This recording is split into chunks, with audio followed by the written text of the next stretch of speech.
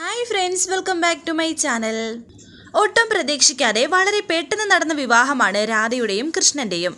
ആരതിയുടെ ഒരു വാക്കിന്റെ പുറത്താണ് ഈ വിവാഹം നടന്നിരിക്കുന്നത്. രാധ പറഞ്ഞാൽ മറുത്തൊന്നും പറയാത്തതുകൊണ്ട് കൃഷ്ണനും ഇതിന് സമ്മതിച്ചു. രണ്ടുപേരും വിവാഹം കഴിഞ്ഞ് നേരെ വരുന്നത് രാധയുടെ വീട്ടിൽ തന്നെ. തുളസിമാലയും അണിഞ്ഞ് കഴുത്തിൽ താലിയുമായി രണ്ടുപേരും കൈകോർത്ത് വരുന്നത് കണ്ട് ഞെട്ടി നിൽക്കുകയാണ് ആരതി. ആരതി അങ്ങനെ പറഞ്ഞെങ്കിലും ഇത് ഒട്ടും പ്രതീക്ഷിക്കാത്ത ഒന്നായിരുന്നു. എന്നാൽ ഈ കാഴ്ച വളരെ സന്തോഷത്തോടെ നോക്കി നിൽക്കുകയാണ് സീതമ്മയും ആര്യയും. വീടിന്റെ പടിക്കൽ വന്നു നിന്നുകൊണ്ട് രാധ അവരോട് പറയുകയാണ് ആരതി ആവശ്യപ്പെട്ടില്ലേ? ഞാനത് പ്രസാദേട്ടനോട് പറഞ്ഞു. ഏട്ടനും സമ്മതമായിരുന്നോ? ആരെയും അറിയിക്കാൻ തോന്നിയില്ല. കൊട്ടും കുരവയും ഒഴിവാക്കി അമ്പലത്തിൽ വെച്ച് ഞങ്ങൾ വിവാഹിതരായി. ഇപ്പോൾ ഞങ്ങൾ ഭാര്യ ഭർത്താക്കന്മാരാ. അത് കണ്ട് വളരെ സന്തോഷത്തോടെ സീതമ്മയും ആരെയും അവരുടെ മുന്നിലെത്തി. എന്നിട്ട് സീതമ്മ സന്തോഷത്തോടെ പറയുന്നു എന്റെ ദൈവങ്ങളെ കരയണോ ചിരിക്കണോ എന്ന് അറിയാത്ത അവസ്ഥയാണല്ലോ എത്ര നാളുകൊണ്ട് കാത്തിരുന്ന ഒരു കാര്യമായി പോയി നടന്നിരിക്കുന്നത്. അതുകൊണ്ട് സന്തോഷവും ചിരിയാണ് മനസ്സ് നിറയെ. പക്ഷേ എല്ലാവരും കൂടി ഒന്നിച്ചു നിർന്ന് എല്ലാവരുടെയും ആശീർവാദം വാങ്ങി പരസ്പരം സന്തോഷത്തോടെ നടത്തേണ്ട ഒരു കാര്യമാണിത്. നിങ്ങൾ ആരോരുമില്ലാതെ നടത്തേണ്ടി വന്നതിന്റെ ദുഃഖവും കരച്ചിലും അടക്കാനാവുന്നില്ല. എന്ന് പറഞ്ഞ് സീതമ്മ അല്പം മാറി കരഞ്ഞുകൊണ്ടിരിക്കുന്നു. സീതമ്മയുടെ അടുത്തേക്ക് രാധ വന്നിട്ട് പറയുന്നു സോറി സീതമ്മേ. ചില വെല്ലുവിളികൾ ഏറ്റെടുക്കുമ്പോൾ വേ വേണ്ടപ്പെട്ടവരെ ഒറ്റ ഒപ്പം നിർത്താൻ സാധിച്ചെന്ന് വരില്ല നമുക്ക്. മുൻകൂർ തീരുമാനിച്ചുറപ്പിച്ച ഒരു കാര്യമായിരുന്നില്ല ഇത്. പെട്ടെന്ന് അങ്ങനെ ഒരു ചിന്തയുണ്ടായി. പ്രസാദേട്ടനോട് സമ്മതം ചോദിച്ചു. പ്രസാദേട്ടനും സമ്മതിച്ചു. അപ്പോൾ തന്നെ അമൃതത്തിൽ ചെന്ന് താലി പൂജിച്ചു വാങ്ങി കല്യാണം നടത്തുകയായിരുന്നു. സീതമ്മ പറയുന്നു സാരമില്ല. നമുക്കൊന്നും പങ്കെടുക്കാനായിരുന്നെങ്കിലും നമ്മുടെ ഒരു വലിയ ആഗ്രഹമാണ് നീ സാധിച്ചെടുത്തത്. എന്തായാലും നവവര വരനും വധുവും ആദ്യമായി ഒരു വീടിന്റെ പടി ചവിട്ടുന്നതല്ലേ? ഞാൻ നിലവിളക്ക് എടുത്തോണ്ട് വരാം. അങ്ങനെ സീതമ്മ പോകാൻ തുടങ്ങിയപ്പോൾ കൃഷ്ണൻ പറയുന്നു അല്ല സീതമ്മേ ഒരു നിമിഷം. വധു വരന്റെ വീട്ടിലേക്ക് കയറുമ്പോഴല്ലേ വിളക്ക് കൊളുത്തേണ്ടത്? ഇതിപ്പോ നിങ്ങൾ ആരും അറിയാതെ കല്യാണം കഴിച്ചതുകൊണ്ട് മാത്രം ഞങ്ങൾ ഇങ്ങോട്ട് വന്നതാണ്. ഉടൻ തന്നെ നമുക്ക് പോകേണ്ടത് എന്റെ വീട്ടിലേക്കാ. അവിടെ ചെല്ലുമ്പോൾ മതി വിളക്ക് കൊടുത്തലും വലതുകാൽ വെച്ച് കയറലും. സീതമ്മ പറയുന്നു അതാവാം വേണ്ടെന്നല്ല. എന്നാലും ഇവിടെയും ഒരു വിളക്ക് പിടിച്ച് കയറിയത് കൊണ്ട് ദോഷമൊന്നുമില്ലല്ലോ. കഴുതിൽ ഒരു താലി വീണതിന് ശേഷം ആദ്യമായി ഒരു വീടിന്റെ പടി ചവിട്ടുന്നതല്ലേ? അത് ഐശ്വര്യമായി തന്നെ നടക്കാം. ഞാൻ വിളക്കെടുക്കാം. നിങ്ങൾ നിൽക്ക് എന്ന് പറഞ്ഞ് സീതമ്മ അകത്തേക്ക് പോകുന്നു. ഇതെല്ലാം ഒരു അമ്പരപ്പൊടി നോക്കി നിൽക്കുകയാണ് ആരതി. ആരതി ആരതി പറഞ്ഞ വാക്കുകൾ ആലോചിക്കുന്നു. ആരതിക്ക് ഇപ്പോൾ ഒന്നും പറയാൻ കഴിയുന്നില്ല. സീതമ്മ നിലവിളക്കുമായി അവിടെ എത്തി. രാധയുടെ കയ്യിലും ആ നിലവിളക്ക് കൊടുത്തു. രാധ വലതുകാൽ വെച്ച് അകത്തേക്ക് കയറി വരുന്നു. പിന്നാലെ തന്നെ കൃഷ്ണനും ഉണ്ട്. രാധ ആ വിളക്ക് കൊണ്ടുപോയി പൂജാമുറിയിൽ വെക്കുന്നുണ്ട്. എന്നിട്ട് എല്ലാവരും പ്രാർത്ഥനയോടെ നിൽക്കുന്നു. ആര്യ രാധയോട് പറയുന്നു ഷോ രാവിലെ പോയപ്പോഴെങ്കിലും വലിയച്ചി ഒരു വാക്ക് പറഞ്ഞിരുന്നെങ്കിൽ ഞാൻ ഈ വീടൊക്കെ ഒന്ന് വൃത്തിയാക്കിയനായിരുന്നു ഇതിപ്പോൾ ആകെ അലങ്കോലമായി കിടക്കുക. രാധ പറയുന്നു അത് സാരമില്ല മോളെ ഞാൻ നേരത്തെ പറയാത്തത് മനഃപൂർവ ഇവിടെ ചിലർ നേരത്തെ ചില പ്രഖ്യാപനങ്ങളൊക്കെ നടത്തിയത് നിനക്കും അറിയാലോ. ഞാൻ നേരത്തെ ഈ കല്യാണത്തെക്കുറിച്ച് പറഞ്ഞിരുന്നെങ്കിൽ അവർ ചിലപ്പോൾ സ്വന്തം വാക്ക് മാറ്റിക്കളയുമായിരുന്നോ. അത് ഉണ്ടാവാതിരിക്കാനാ ഇങ്ങനെയൊരു സർപ്രൈസ് മാരേജ് നടത്തിയത് തന്നെ. ഇത് കേട്ട് ദേഷ്യത്തോടെ ആരതി പോകാൻ തുടങ്ങിയപ്പോൾ രാധ പറയുന്നു ആരതി നിക്ക്. ഓർമ്മിപ്പിക്കേണ്ടല്ലോ നീ ഇന്നലെ പറഞ്ഞത് എന്താണെന്ന്? ഞാൻ പ്രസാദേട്ടനെ കല്യാണം കഴിച്ചാൽ മുരളിയെ ഭർത്താവായി സ്വീകരിച്ച് അയാളുടെ വീട്ടിൽ ചെന്ന് താമസിക്കാമെന്ന്. ദാ ഞാൻ പ്രസാദേട്ടനെ വിവാഹം കഴിച്ചിരിക്കുന്നു. ഇനി നീ വേണം നിന്റെ വാക്ക് പാലിക്കാൻ. നിനക്ക് താലി കെട്ടി നിന്റെ ഭർത്താവായി മാറിയ മുരളിക്കൊപ്പം അവിടെ അവരുടെ വീട്ടിൽ ചെന്ന് നീ താമസിക്കണം. ഇനി സമയമില്ല. ചെല്ല്. വേഗം ചെന്ന് റെഡിയായിട്ട് വാ. പോകാം നമുക്ക്. കൃഷ്ണൻ പറയുന്നു അതിപ്പോൾ ആരതി മാത്രമല്ല എല്ലാവരും റെഡിയാവണം നിങ്ങൾ എല്ലാവരും ഇനി അവിടെ വേണം താമസിക്കാൻ. അത് കേട്ട് ദേഷ്യത്തോടെ അകത്തേക്ക് പോയി ബെഡിലിരിക്കുകയാണ് ആരതി. ആരതിക്കൊന്നും ചെയ്യാനും കഴിയുന്നില്ല. എന്ത് തീരുമാനമെടുക്കണമെന്നറിയാതെ അവിടെ പോയിരിക്കുന്നു. പിന്നാലെ തന്നെ ആര്യയും പോകുന്നുണ്ട്. ആര്യ പറയുന്നു എന്ത് പറ്റി? ഇനിയും ഒഴിവുകഴിവ് പറയാനുള്ള നീക്കത്തിലാണോ കുഞ്ഞേച്ചി? ആരതി പറയുന്നു ഒരു വാശിക്ക് ഞാൻ അങ്ങനെ പറഞ്ഞു എന്ന് വെച്ച് ചേച്ചി ഇങ്ങനെ ചെയ്യുമെന്ന് ഞാൻ പ്രതീക്ഷിച്ചില്ല. ഇത് ഒരുമാതിരി പ്രതികാരം ചെയ്യുന്നത് പോലെയായി.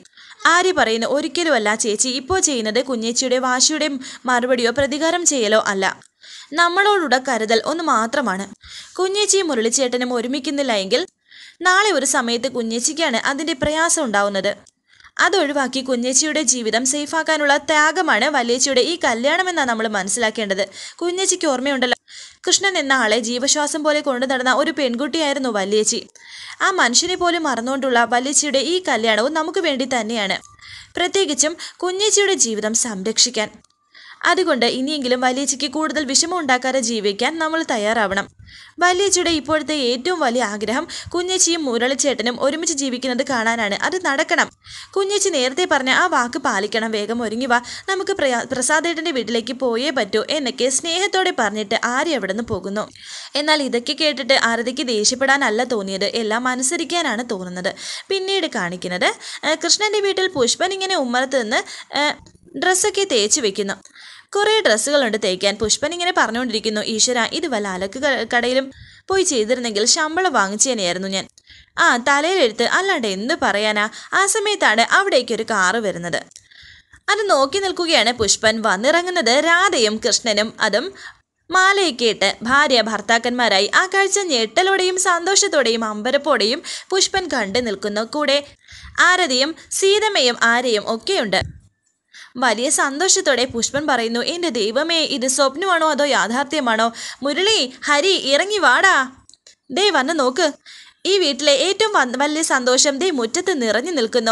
ആ കാഴ്ച കാണാനായി അവിടേക്ക് ഓടിയെത്തുകയാണ് മുരളിയും ഹരിയും. ആ കാഴ്ച കണ്ട് അവരും വളരെയധികം സന്തോഷവാനാണ്. മുരളി സന്തോഷത്തോടെ പറയുന്നു ഏട്ടാ ഞങ്ങൾക്ക് സന്തോഷമായി. ഇങ്ങനെ ഒരു കാഴ്ച കാണാൻ ഞങ്ങൾ എത്ര നാളായി കൊതിക്കുന്നു എന്നറിയോ? എന്തൊക്കെ സൂത്രപ്പണികളാ ചെയ്തെന്നറിയോ അതെ അതെ. ഇങ്ങനെ ഒരു സൽക്കർമ്മം ചെയ്യാൻ രണ്ടുപേർക്കും തോന്നിയല്ലോ. വളരെ നല്ല കാര്യം. ഒരു വാക്ക് പറഞ്ഞിരുന്നെങ്കിൽ ആ ശുഭമുഹൂർത്തത്തിൽ ഞങ്ങൾ പങ്കെടുത്തേനെ. എന്ന് ഹരി പറഞ്ഞപ്പോൾ സീതപ്പൻ പറയുന്നു സാരമില്ല ഹരി. ആ ശുഭകർമ്മം ആഘോഷമായി തന്നെ നമുക്ക് ഒന്നുകൂടി നടത്തിക്കളയാം എല്ലാവരും കൂടി ചേർന്ന് ആർഭാടമാക്കി തന്നെ ഒന്ന് രണ്ട് ദിവസം കഴിയട്ടെ. വലതുകാലിൽ അകത്തേക്ക് കയറാമെന്ന് പുഷ്പൻ പറയുന്നു. സീതമ്മ പറയുന്നു ഒരു മിനിറ്റ് ഒരു നൂറ് തവണ അഞ്ജലി ഈ വീട്ടിലേക്ക് വന്നിട്ടുണ്ടെങ്കിലും ഇപ്പോൾ ഒരു പുതുതായിട്ട് തന്നെയാണ് ഇവിടെ വന്ന് നിൽക്കുന്നത്. അതുകൊണ്ട് അതിന്റെതായ ചടങ്ങുകളൊക്കെ നടത്തിയിട്ട് മതി അകത്തേക്ക് കയറാൻ. പുഷ്പൻ ചേട്ടൻ വന്നേ നമുക്ക് ചെയ്യാൻ ഇവിടെ ചില പരിപാടികളുണ്ട് എന്ന് പറഞ്ഞ് സീതമ്മയും പുഷ്പനും അകത്തേക്ക് കയറി പോകുന്നു ഈ സമയം കൊണ്ട് രാധ പറയുന്നുണ്ട് എല്ലാവരുമായിട്ട് എനിക്ക് ഒന്ന് രണ്ട് കാര്യം പറയാനുണ്ട്. പ്രസാദ് ഏട്ടാ അങ്ങനെ പ്രസാദ് പറയുന്നു ഈ വീട്ടിൽ അച്ഛന്റെ അസാന്നിധ്യത്തിൽ ഞാൻ എങ്ങനെയാണോ ഹരിക്കും മുരളിക്കും അച്ഛനാകുന്നത്? അതുപോലെ എന്റെ ഭാര്യയായ അഞ്ജലി ഇന്നു മുതൽ ആര്യയ്ക്കും ആരതിക്കും അച്ചൂട്ടനും മാത്രമല്ല ഹരിക്കും മുരളിക്കും കൂടി അമ്മയാണെന്ന് ഇന്നു മുതൽ ഞാൻ പ്രഖ്യാപിക്കുന്നു. രാധ പറയുന്നു താങ്ക് യു പ്രസാദ് ഏട്ട. അപ്പോൾ ഈ വീട്ടിലെ പൗരജനങ്ങളൊക്കെ കേട്ടല്ലോ? ഈ വീട്ടിലെ അമ്മയുടെ സ്ഥാനത്തുള്ള ഞാൻ പറയുന്നത് വേണം എല്ലാവരും അനുസരിക്കാൻ. അത് കേട്ട് മുരളിയും ഹരിയും ഒറ്റ വാക്കിൽ പറയുന്നു അതിനെ ഞങ്ങൾ പണ്ടേ റെഡിയല്ലേ? ഇന്നത്തെ അഞ്ജലി ചേച്ചി ഇന്നിപ്പോൾ അഞ്ജലി ചേട്ടത്തിയായി. അതിന്റെ കൂടെ അമ്മ പട്ടം കൂടി ചേർത്താൽ ഏട്ടത്തിയമ്മ സൂപ്പർ. ശരി എന്നാൽ മുരളി ഇങ്ങോട്ട് വാ കാണട്ടെ ഞാൻ എന്ന് രാധ പറയുന്നു. ശരി ഏട്ടത്തിയമ്മേ എന്ന് പറഞ്ഞ് മുരളി അങ്ങോട്ടേക്ക് വന്ന് നിൽക്കുന്നു. പിന്നെ ആരതി വിളിക്കുന്നുണ്ട് ആരതി ഇനി നീ മുരളിയുടെ ഇടതുവശത്ത് വന്ന് നിൽക്കണം. അത് കേട്ട് ആരതി ഒന്ന് മടിച്ചു നിന്നെങ്കിലും ആര്യ ആരതിയെ പിടിച്ച് മുരളിയുടെ അടുത്തേക്ക് നിർത്തുന്നു. അപ്പോൾ എല്ലാവർക്കും മനസ്സിലായല്ലോ ഇന്നിവിടെ ഗൃഹപ്രവേശം നടത്തുന്നത്. ഗൃഹപ്രവേശം നടത്തുന്ന നവദമ്പതികൾ അഞ്ജലിയും പ്രസാദേട്ടനും മാത്രമല്ല മുരളിയും ആരതിയും കൂടിയാണ്. ആ സമയം സീതമ്മയും പുഷ്പൻ ചേട്ടനും സീതമ്മ രണ്ട് നിലവിളക്കുമായി വരുന്നു പുഷ്പൻ ചേട്ടൻ ഒരു ആരതിയുമായി വന്നു. ഈ സമയം കൊണ്ട് ആര്യ ഹരിയുടെ അടുത്തേക്ക് ചേർന്ന് നിൽക്കുന്നു. പുഷ്പൻ ആദ്യം തന്നെ ഹരിയെയും സോറി കൃഷ്ണനെയും രാധയെയും ആരതി ഒഴിയുന്നു രണ്ടാമതായി മുരളിയെയും ആരതിയെയും. സീതമ്മ രാധയുടെ കയ്യിലും ആരതിയുടെ കയ്യിലും നിലവിളക്ക് കൊടുത്തു. ഹരി പതിയെ ആര്യയോട് പറയുന്നു നമ്മളും കൂടി മനസ്സ് വെച്ചിരുന്നെങ്കിൽ ഇതിന്റെ കൂടെ നമുക്കും കൂടി വലതുകാൽ വെച്ച് അകത്തേക്ക് കയറാമായിരുന്നു. ആണോ? എന്നാലേ അതിലൊരു ത്രില്ലില്ല എന്ന് ആര്യ പറയുന്നുണ്ട്. രാധയും കൃഷ്ണനും വളരെ സന്തോഷത്തോടെ വലതുകാൽ വെച്ച് അകത്തേക്ക് കയറുന്നു. കയറാൻ തുടങ്ങുന്നതിന് മുമ്പ് ഹരി ഓടിപാടാ എന്ന് പറഞ്ഞ് ഹരിയെ വിളിക്കുകയാണ് പുഷ്പൻ. ഹരിയും ആര്യയും കൂടി പുഷ്പനും കൂടി ആദ്യം അകത്തേക്ക് കയറി നിന്നിട്ട് പറയുന്നു സ്റ്റോപ്പ്. ഈ വീട്ടിലേക്ക് കയറുന്നതിന് മുമ്പ് നിങ്ങൾ ഇനി പറയുന്ന ടാസ്ക് ഏറ്റെടുത്ത് പറയണം. ടാസ്ക് വളരെ സിമ്പിളാണ് അകത്തേക്ക് കയറുന്ന ഭർത്താവ് ഭാര്യയുടെയും ഭാര്യ ഭർത്താവിന്റെയും പേര് ഉറക്കെ പറഞ്ഞ് പരസ്പരം ഓരോ കൈകൾ കോർത്ത് പിടിച്ച് വലത് കാൽ വെച്ച് അകത്തേക്ക് കയറണം. എന്ന് ആര്യ പറയുന്നുണ്ട്. ശരി ഞങ്ങൾ ടാസ്കിന് റെഡിയാണെന്ന് സന്തോഷത്തോടെ കൃഷ്ണൻ പറയുന്നു. കൃഷ്ണൻ രാധയുടെ കൈ കോർത്ത് പിടിച്ചിട്ട് പറയുന്നു ഞാൻ പ്രസാദ് ഇത് എന്റെ ഭാര്യ അഞ്ജലി. രാധയും അതുപോലെ പറയുന്നുണ്ട് ഞാൻ അഞ്ജലി ഇത് എന്റെ ഭർത്താവ് പ്രസാദ്. അങ്ങനെ അവർ രണ്ടുപേരും അകത്തേക്ക് കയറുന്നു വലതുകാൽ വെച്ച്. ഇനി ചെയ്യേണ്ടത് ഹരി ആരതിയും മുരളിയുമാണ്.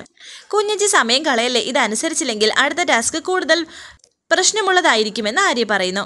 ദമ്പതിമാരിൽ ഒരാളെ തോളിലെടുത്ത് അത്രയും ആര്യ പറഞ്ഞപ്പോൾ മുരളി വിളിച്ച് പറയുന്നു അയ്യോ വേണ്ട വേണ്ട ഞാൻ റെഡിയാണ്. ആരതിയുടെ കൈ കോർത്ത് പിടിക്കുകയാണ് മുരളി. ഞാൻ മുരളി ഇതെന്റെ ഭാര്യ ആരതി. ഒട്ടും മനസ്സിലാ മനസ്സിലൂടെയാണ് മുരളി അത് പറയുന്നത്. ഞാൻ ആരതി ഇതെന്റെ ഭർത്താവ് മുരളി എന്ന് ആരതിയും പറയുന്നു. വേറെ നിവൃത്തിയില്ലാത്ത മട്ടിലാണ് ആരതി അത് പറയുന്നത്. അങ്ങനെ അവർ രണ്ടുപേരും വലത് കാൽ വെച്ച് അകത്തേക്ക് കയറുന്നു. ഇപ്പോൾ ആരതിയുടെ ഈ അഹങ്കാര സ്വഭാവമെല്ലാം മാറിയതുപോലെയാണ് മുഖം കണ്ടിട്ട്. സന്തോഷത്തോടെ സീതമ്മയും വരുന്നുണ്ട്. തൊട്ടു പിന്നാലെ പുഷ്പൻ ചേട്ടനും.